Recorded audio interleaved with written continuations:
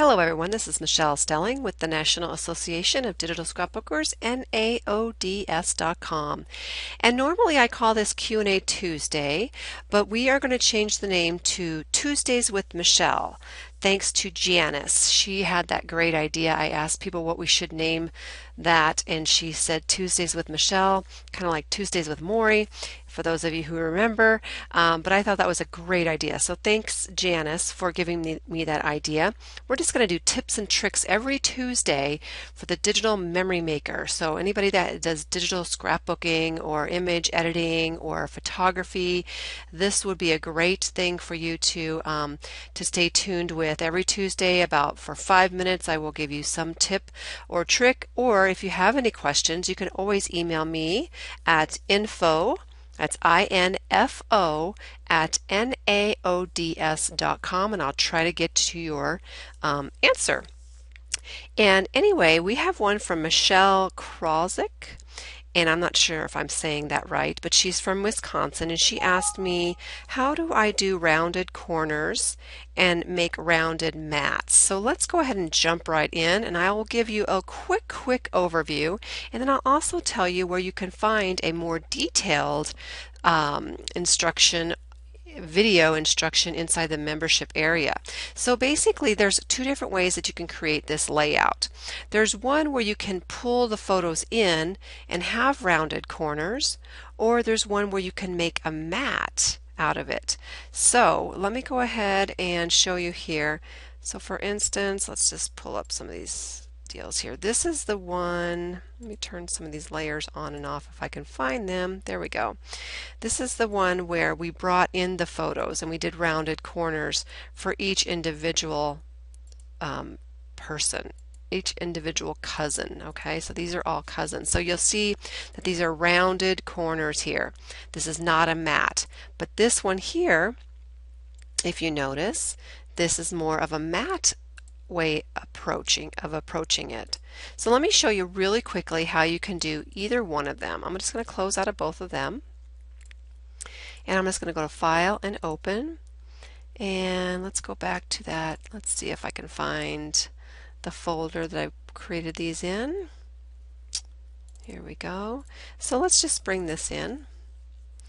And it, let's say we wanted to make a mat out of this. Well, I go into great detail inside the membership area how I created this, but let's just go over to get our rectangle marquee tool.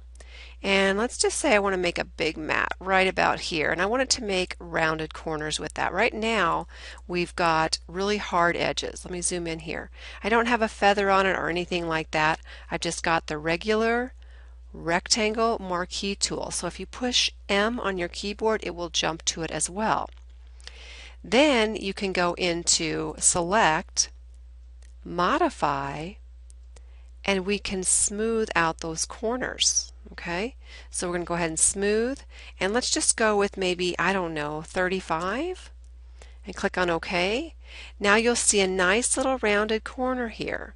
Now if you wanted it to be more rounded, you would go higher than 35, and if you wanted to go less rounded, you can go less than 35. So if I still wanted to go back in there and go select, modify, and smooth, maybe I go another 35, and it'll pull it in a little bit more. Okay, I'm going to double click on the um, hand tool to bring me back. That's still not rounded enough, so let's just go in there, and I can even add maybe 50 Okay, it's kind of a guessing game at first, but once you know what you need, then you can go ahead and start working from there. Then I can hit the delete key.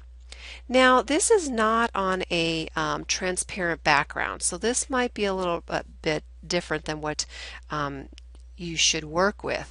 Right now I believe I've got this on a, let's see here, let's duplicate this layer. Let me let me go back here. Let me go Command Command Z, and I'm going to duplicate the layer now, just in case you're working on a different type of a background. Right now, this does not allow a transparency, so it's kind of good that I messed up a little bit because you might get a background that does not allow a transparency. So what you do is I can make a copy of that background. So I just right-clicked and duplicated that layer.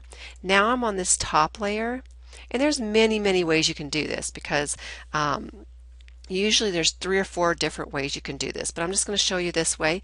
You can delete it. Now if I turn this off, See this background here? Now this indicates that there is a transparent background, okay? Now I, remember, I go into great detail with the members only class inside the membership area, but this is just a quick right review. So now I've got that transparency. So now if I wanted to bring this piece of paper somewhere else, or even if I just wanted to cut this part out, you see what I'm saying there? If I just wanted to take that piece and move it somewhere else, I could use that as like a frame. Okay, I could take this, let me go back up there and take my move tool and do it, and then I have this little frame like with that rounded edge. Okay, now what happens if you wanted to do it the other way? So I'm just going to trash this one, just throw it in the trash. And let's just deselect here. What if we wanted to go over here and bring in one of these photos with a rounded corner? All I need to do is take my rectangle marquee tool and I go in and I select with no feather. And then I can go back into select modify smooth. And let's just do a big smooth. Let's go 75 at this point 75 pixels. Okay and it's pretty nice and smooth. Then I can take that and I can move it. Oops, I gotta get my move tool though. Go back over to get your move tool. I always forget about that. Drag it and drop it to the other page. So what I did was I drag it and drop it to this page here, which is uh, the background. And now if I move in and really close, then I've got my rounded corners. And I can go ahead and put effects on there. So if I go into my effects, my styles, maybe I want to do a bevel, um, this type of bevel. Or maybe I don't even want a bevel. Maybe I just want a drop shadow or something. So I can go in my drop shadows bring in a little drop shadow and now I've got a rounded cornered photo. So hopefully Michelle that answers your question. Also we are having a What's new to version 12 class on Tuesday evening? It should be tonight as I'm taping this a day or two early, but it's tonight, Tuesday the 8th. Please join us for that if you are a member. All you need to do is go to our website at naods.com. Click on Members Only tab and that will get you to our upcoming members only class. We have one with uh, Boop with Boop Design. She's going to be showing you how to do actions on Wednesday, October 23rd. And then I'm going to have Photoshop Elements 101 class, which is October the 28th. We will slowly start going into version 12. Let me tell you, there's really not a huge change. So you can always just keep 11 and not even upgrade if you want to. And still, these classes will be very, very beneficial to you. Like I said, we do have a more in-depth version of what I just covered inside the membership area. Let me show you where that is. If you are interested in being a member, um, we do have some great specials right now, but I'm just going to show you. You just scroll down here. And let's scroll down here to the very bottom area.